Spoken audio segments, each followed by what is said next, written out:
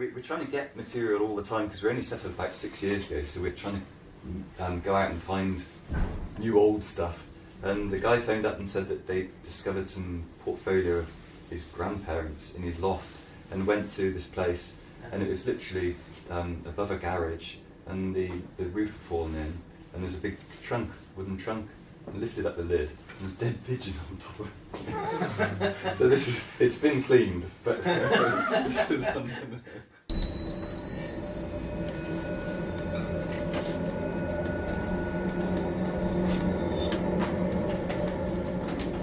I'll stop it there because it goes on a bit. I like this model, Yeah. but I have no idea how to link it to my project. So. Okay. No, it looks Tumble like down. one building from far away, but when you go closer, It does remind me a little bit of that design you did last year. I mean, it's less structured. Yeah. It's called Adenalta, which is Atlantis spelled backwards. Is there images of it being worn? Yeah, basically the building would have these panels, and if something could be pressed, the panels would open up like flowers. Wow. That's what I'm saying. Is if not pressed. That's a lot. That that'd be a lot of hydraulics. Um, so this guy built this model. It's using foam board, bits of card, lot of, lot of spray paint, um, bits of wire, and of course all the electrical things. Um, and what he does is, is, I mean, this is kind of an interesting project so far. But what he does is takes it a, a step further, and he submits it to Google Earth, and it gets accepted as actual real place. Where is this drawing? You get rid of single drawing. It's invisible. Yeah. Yeah. It's in his head. Yeah. Um, so um, Oh, is it here? Is it that one in the middle? no. Um, it is invisible for now. He basically tried to lay out like a sort of comic book panel on Okay. the kimono, and each panel had something related to either Japanese culture or the building that was in them. I remember the page where the actual kimono was on. but it's for a Japanese embassy um, in London. And he, instead of actually kind of doing standard plans, you know, as um, majority of people would do, he decided to um, create a kimono. sure which one, but he did some uh, light and reflection uh, building so that it was like a shape. There was like a shape that he made, and he showed the rotation of the sun and what pattern would be there in each hour. Um, Okay. So it's like a, the building's like a big sundial. uh, sort of, yeah. You had a bit of a competition about who could draw straight lines. And that was there was no competition because I already knew I was going to win. I, Do you think that's why your lines are more chaotic?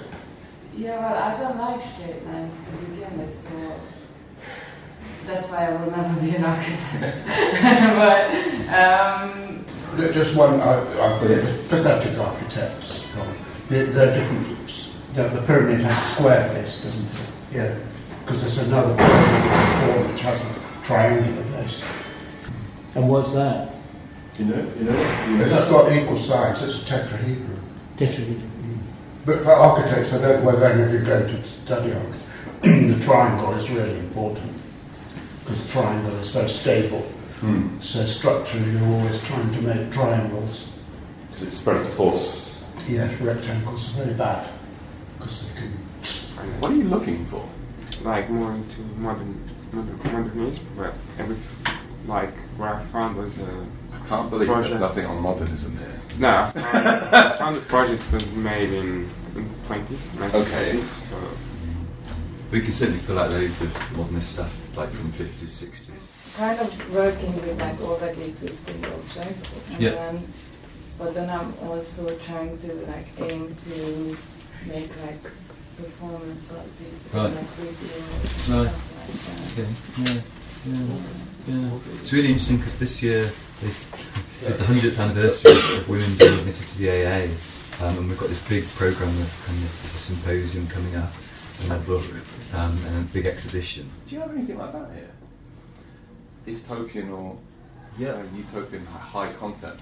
Yeah. That might be something you could There was a find. weird utopian thing they showed us, is a utopia where humans and pigs could live. Oh yeah. they showed us like a video. There's like a bunch of pigs running, running on. around. Yeah. It was like a building where pigs and humans could live in together. Like.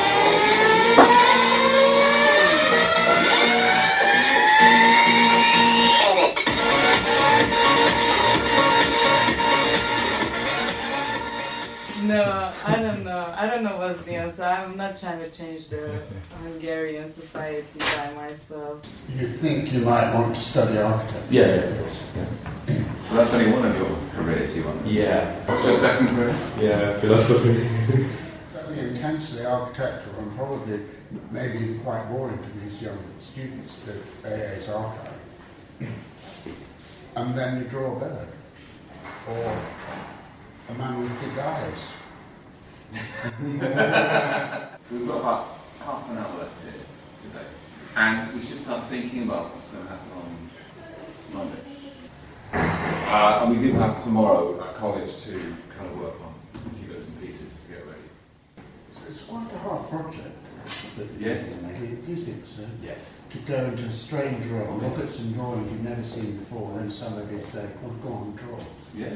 You feel like saying to them, no, you draw.